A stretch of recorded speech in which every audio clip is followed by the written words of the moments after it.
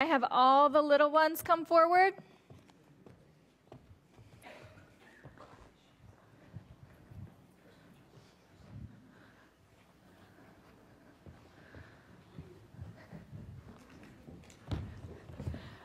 I can always count on you two to take the shortcut.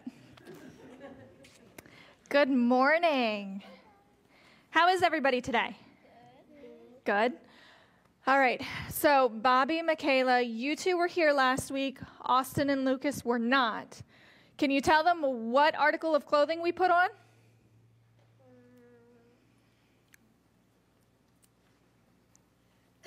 Starts with a B, ends with of truth. Belt of truth. Yes.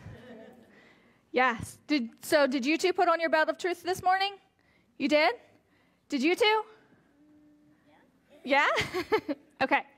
So last week, and I've got fun things today because Oh, as we go through, We're- going to put it on? yes, we have oops. Our belt of truth. Um.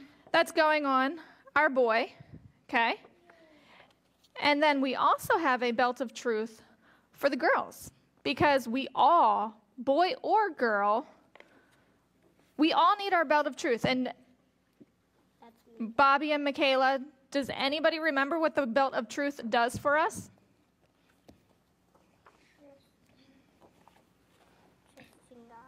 It prepares us. And the way that we get prepared is we trust in the Word of God. So today, anybody know what the next piece of armor we're going to put on is? Mm-hmm. What? You are so smart, buddy. That's right. We're going to put on the breastplate of righteousness. Okay? So if we put on the breastplate, it goes right over here, right? What does that protect? Your body. But what's inside our body in that area? Heart. Our heart? What, o- what other organs are back there? In there? Uh, boy. Did you say brain? Boy. Blood. Okay. I'm like, no, buddy. Yes, there's blood in there too. But what else? Lungs. Okay. But more importantly, Bobby did mention the heart. And we read about how important the heart is in Proverbs 4:23. Let me get my But you need to put it on her, We will. and you need to glue it. We will. We're not there yet. In Proverbs 4:23, the verse says, "Above all else, guard your heart, for everything you do flows from it." So, the breastplate of righteousness really helps protect our heart. And Joe has been teaching us in Sunday, um, in his Sunday messages, that we can't change our own heart. God has to do that. So, righteousness, do we know what that means? What's it mean? Um, it means. We are protected, but righteousness is a little bit more than just being protected. It's upright living that invites God and his blessings and his grace into our lives. So, to put it even simpler than that, is it's living right in God's eyes. So we're following the word. We're doing what Jesus would want us to do. We're showing God's love and grace to everybody we meet. Now, what happens when we don't live with this breastplate of righteousness? Then we're done to the heart. We live upside down.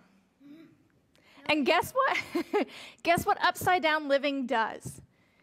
It invites Satan in. And because we're not following God's word.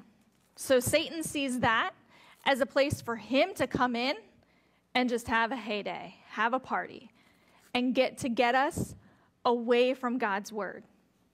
Which can be a little tough because let's face it, who wouldn't want to party every day, stay up late, drink coffee all day long, eat sugar, not have to eat broccoli, not have to clean our rooms, right? That sounds like fun.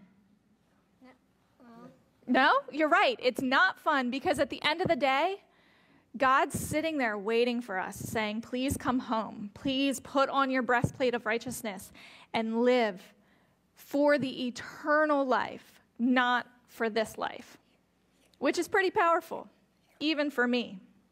So, we've got our belt of truth on, right? And we've got the breastplate of righteousness that is going to help us live according to who? According to God, right. So, and one other thing that I learned about how these two pieces of armor go together is if we wouldn't have the belt of truth on first, guess where this weight of righteousness would lay? It would lay right heavy on our chest. God doesn't want us to live with any weight because that's His job. His job is to carry our burdens and to carry the weight that we have through every day.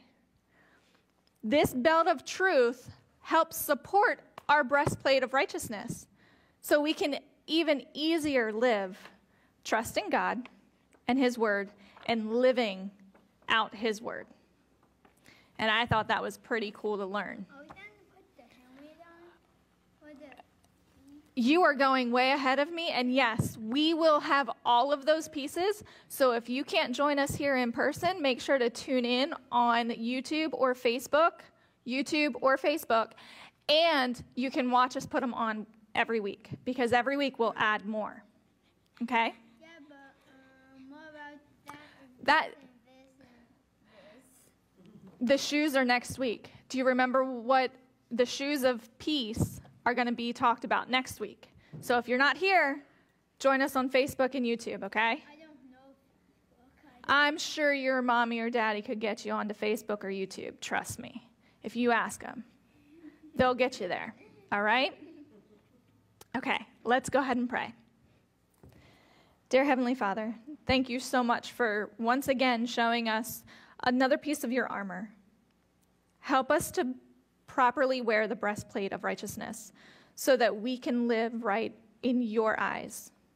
Help us choose your help us choose living in your word and not society's word. Help us to live what is right by you. And help us to shine bright so that we can show others how awesome this breastplate, breastplate of righteousness truly is. In Jesus' name, amen. Thank you, everybody.